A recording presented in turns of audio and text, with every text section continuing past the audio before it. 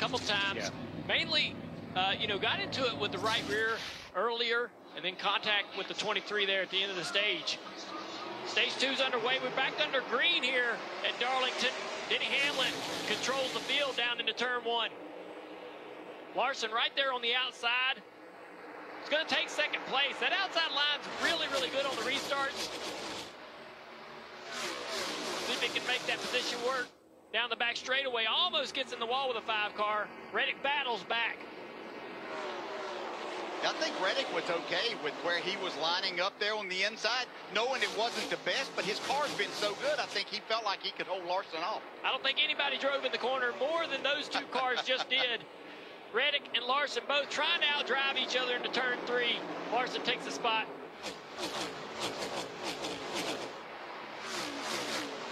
Great battle right here, that 43 Erik Jones.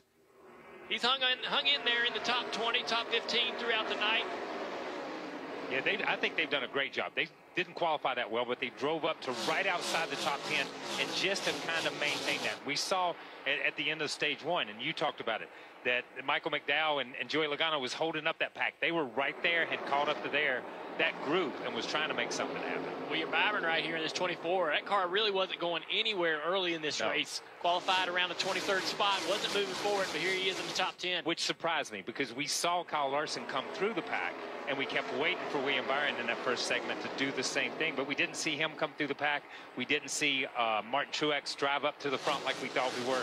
So this is a different race. Now we talk about running 115 laps under green. This is the second 115, uh, 115 lap race. Yeah, and we got to see here what what's Christopher Bell's car like. You mentioned you brought it up. He hit the wall right there at the end uh, of stage uh, one, and I think it's affected him a lot. Uh, Martin Truex Jr. Uh, just went by Bell, as did Brad Keselowski.